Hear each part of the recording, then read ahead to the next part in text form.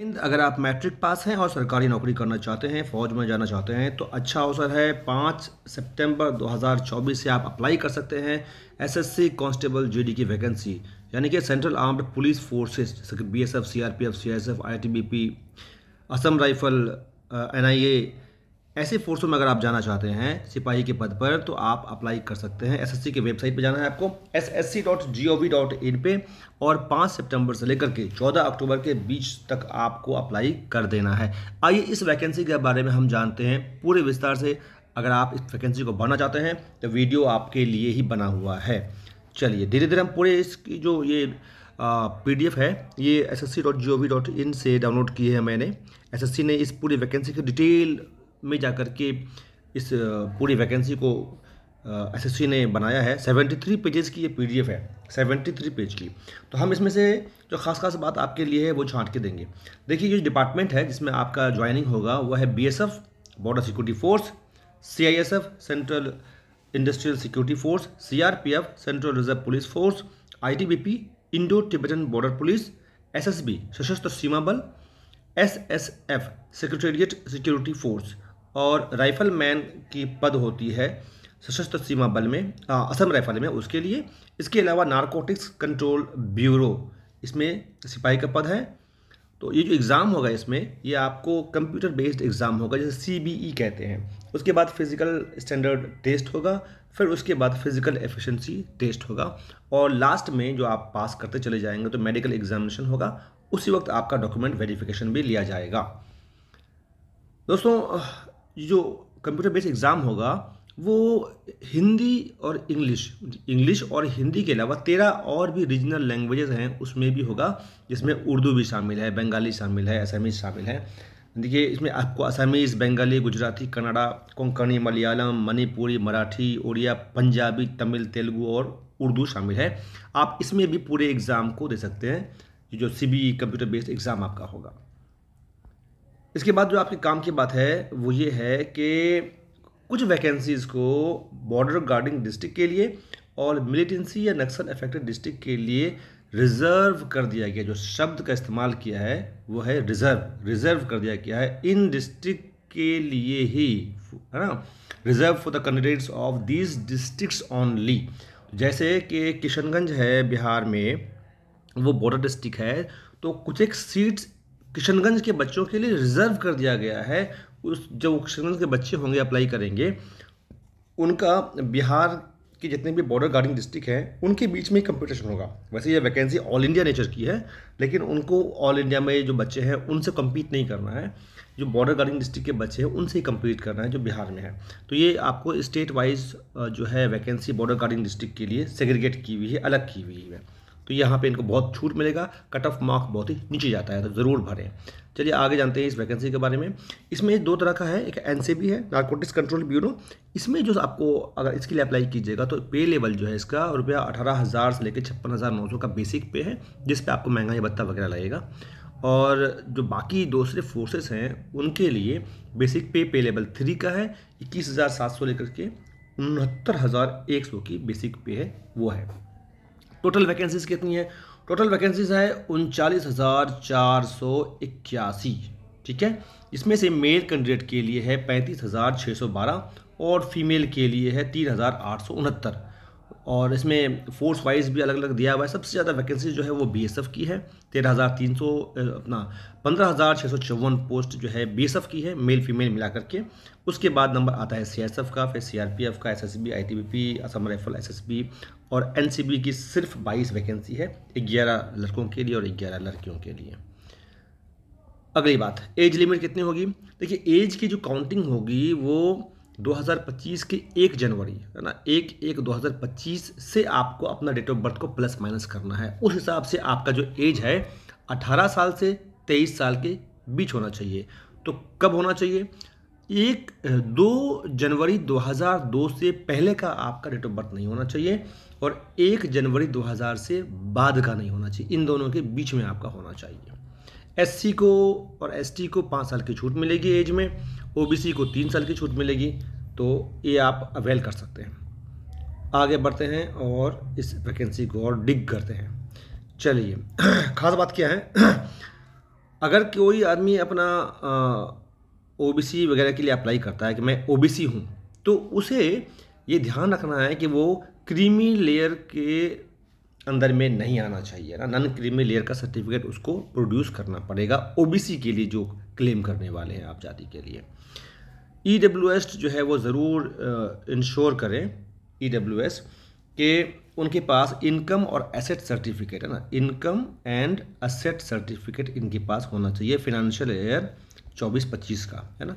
चौबीस पच्चीस का सर्टिफिकेट आपके पास होना चाहिए इनकम एंड एसेट सर्टिफिकेट चलिए डोमिसाइल सर्टिफिकेट होना चाहिए आपके पास, हमेशा याद रखिए। उसके बिना आप आप किस स्टेट के हैं या किस डिस्ट्रिक्ट के हैं वो आपको प्रूव करने के लिए ज़रूर चाहिए। अभी सर्टिफिकेट के बारे में हम और बाद में डिटेल से बात करेंगे। चलिए एजुकेशनल क्वालिफिकेशन एक जनवरी 2025 से पहले पहले आपका मैट्रिकुलेशन यानी कि दसवीं पास का सर्टिफिकेट आपके पास होना चाहिए। इसके अलावा डॉक्यूमेंट वेरिफिकेशन जो होगा, उसमें ज़रूरत है क्या कि इसमें दिया गया will be required to produce the relevant certificate मतलब आपका मार्कशीट प्रोविजनल सर्टिफिकेट जो भी है, वो आपके पास आना चाहिए। एक जनवरी 2025 से पहले का।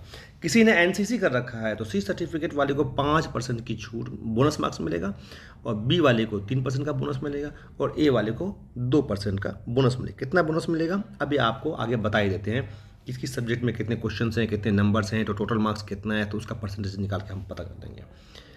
अच्छा ये जो आपको जब आप अप्लाई कीजिएगा ऑनलाइन तो ही आपको एनसीसी के बारे में आपने फिलअप कर देना है, तभी आपको उसका बेनिफिट मिलेगा और नंबर भी आपको दे दिया जाएगा। आपके फॉर्म भरने के हिसाब से, जब डॉक्यूमेंट वेरिफिकेशन होगा, तब आपको उस वक्त छांटा जाएगा कि आप उसके लिए एलिजिबल हैं या नहीं हैं। चलिए, कैसे अप्लाई करना है? S S C dot G O V dot in के वेबसाइट पर आपको जाना है और वहाँ पे आपको रजिस्ट्रेशन करना है और आपने अप्लाई करना है। कुछ खास चीज़ें जो आपको ध्यान रखनी है, वो याद रखिए कि अब जो है आपका,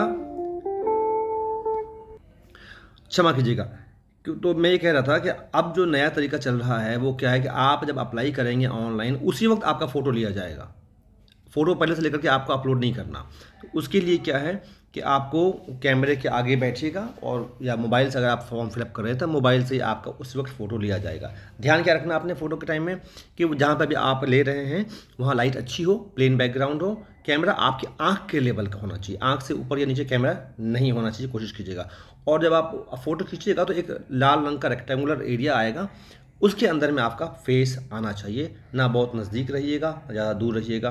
और सबसे ख़ास बात क्या है कि फ़ोटो लेने के टाइम में आपने कोई टोपी नहीं पहननी है, कोई मास्क नहीं पहनना है, अगर आप चश्मा लगाते हैं, चश्मा नहीं पहनना है, और एयरफोन्स वगैरह नहीं लगा होना चाहिए, नहीं तो फिर आपका सारा किया कराया बेकार हो जाएगा। इस फ़ोटो के बारे में आपको फ़ोटो के मैं दिखा करके आपको बताऊँगा कि किस तरह का होना चाहिए वीडियो के लास्ट में। ये वीडियो बहुत इंपॉर्टेंट है, ये मत सोचिएगा कि बस इतनी से आपका काम चल जाएगा। पूरा वीडियो आपको देखना है लास्ट तक, क्योंकि इसमें आपको पूरी जानकारी कूट कूट के हमने डाली है। चलिए आगे बढ़ते हैं। जो आपका सिग्नेचर होगा। उसके लिए याद रखिए आपको सिग्नेचर आपका जेपीईजी या जेपीजी फॉर्मेट में होना चाहिए, नहीं तो आपका अपलोडिंग में दिक्कत आएगा। कम से कम 10 किलोबाइट और मैक्सिमम 20 किलोबाइट की साइज़ उसकी होनी चाहिए। उसकी जो चौड़ाई है, जो आपका सिग्नेचर का, वो 6 सेंटीमीटर चौड़ा होना चाहिए और 2 सेंटीमीटर की हाइट टू बाई सिक्स जो हो गया, इसके बीच में आपका होना चाहिए। और उसकी रेजोल्यूशन भी 300 hundred D depression per inch होना चाहिए। इसके बारे में भी मैं लास्ट में आपको विथ फ़ोटो दिखा दूँगा कि सिग्नेचर को कैसे आपने करना है। और सिग्नेचर आपका हॉरिजेंटल होना चाहिए, सीधा होना चाहिए, तिरछा नहीं होना चाहिए, वो याद रखिएगा। चलिए, आगे चलते हैं। एप्लीकेशन की फ़ी एप्लीकेशन की फ़ी सौ रुपये है, लेकिन एस सी और वुमेन कैंडिडेट के लिए ये माफ़ कर दी गई है। अगली बात। ऑनलाइन एप्लीकेशन कब से कर सकते हैं? ऑनलाइन एप्लीकेशन आप पाँच नवंबर से स्टार्ट कर सकते हैं। ठीक है? क्षमा कीजिएगा। ये जो आ, ये जो आप फॉर्म भरेंगे और फॉर्म भरने में कोई गलती हो जाती है तो उसमें जो करेक्शन करना है उसके लिए जो विंडो खुलेगा वो है पाँच नवंबर को। और ये सात नवंबर को बंद हो जाएगा। यानी कि दो दिन के बीच में आपको कोई करेक्शन है तो करनी है, पाँच नवंबर से सात नवंबर के बीच में। तो कोई गलती अगर हो जाए, आपने गलती से अपना नाम गलत डाल दिया, कुछ और कर दिया हो डेट ऑफ़ बर्थ गलत डाल दिया हो तो घबराना नहीं है आपको। आपने वेट करना है, पाँच नवंबर का आपको मौका मिलेगा। और इसके बारे में बता दूँ, मैं आगे भी वैसे आएगा वीडियो में। लेकिन बता दूँ मैं आपको कि पहली बार आप जब करेक्शन कीजिएगा तो आपसे फ़ाइन लिया जाएगा, दो सौ रुपये और अगर आपने एक बार करेक्शन कर लिया, मान लीजिए पाँच तारीख को आपने करेक्शन कर लिया, फिर आपको याद आया ये तो ये और रह गया। फिर आपने छः तारीख को दोबारा करेक्शन करने के लिए साइट खोला तो आपको फिर टोटल पाँच सौ रुपये का चूना चूना लग जाएगा, ठीक है? ऐसे से आपसे दंड लेगी। ओके, ये देखिए, वही यहाँ पे आपको आ गया ना। पहले दो सौ रुपये का आपको लगेगा, और सेकंड टाइम करने वाले को पाँच सौ रुपये का फाइन देना पड़ेगा correction charge centre of examination, Bihar के लिए जो है, जो सेंटर ऑफ़ एग्जामिनेशन है, भागलपुर, दरभंगा, मुजफ्फरपुर, पटना और पूर्णिया है। इसमें से आपको तीन आपसे मांगा जाएगा ऑप्शंस वो आपने तीन इसमें डाल देना है। चलिए आगे बढ़ते हैं। जी हाँ यही बात है आपको, ये ऑप्शंस फोर थ्री सेंटर्स ठीक है? इन ऑर्डर पे तीन सेंटर आपने सेलेक्ट करना है, जो मैंने आपको पहले ही बता दिया। चलिए कंप्यूटर बेस्ड एग्जामिनेशन कैसा होगा, क्या होगा?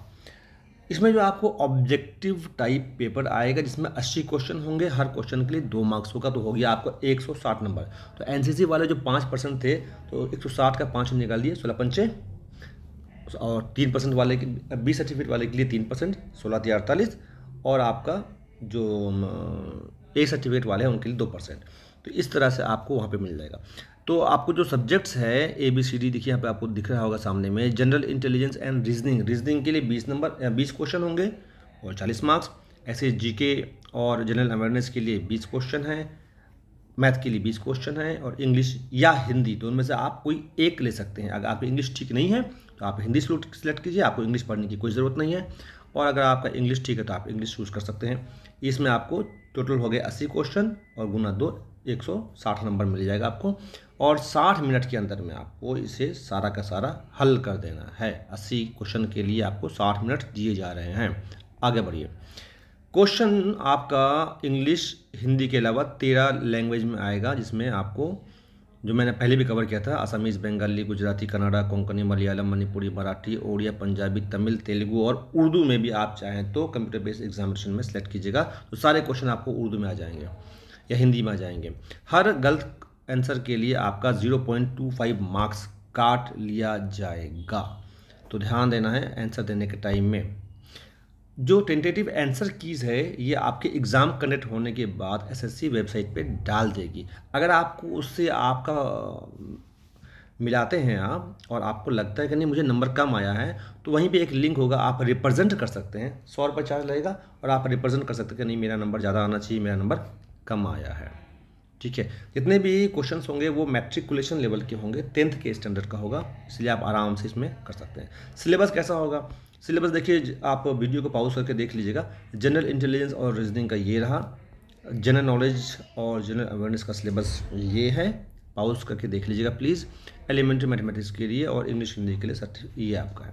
अब आते हैं हम फ़िज़िकल टेस्ट के लिए। तो पी एस टी इनके फ़िज़िकल स्टैंडर्ड टेस्ट और P T physical efficiency test ये सारा आपको जो जो भी होगा, ये C A P F conduct करेगी। जो भी department generally C R P F conduct करती है C R P F C S F वगैरह तो वो कंडक्ट करेगी। एस एस सी बस आपका एग्ज़ाम कंडक्ट करेगी। ओके, आगे चलते हैं। आइए आपका जो है ये फ़िज़िकल एफिशिएंसी टेस्ट वो कैसा होगा? लड़कों को पाँच किलोमीटर दौड़ना है चौबीस मिनट के अंदर में और लड़कियों को वन पॉइंट सिक्स किलोमीटर, सोलह सौ मीटर दौड़ना है साढ़े आठ मिनट के अंदर में। आगे। हाइट 170 सेंटीमीटर चाहिए सभी लड़कों के लिए और 157 सेंटीमीटर चाहिए सभी लड़कियों के लिए। S C S schedule tribe S C नहीं, सिर्फ़ शेड्यूल ट्राइब एस टी के लिए है छूट।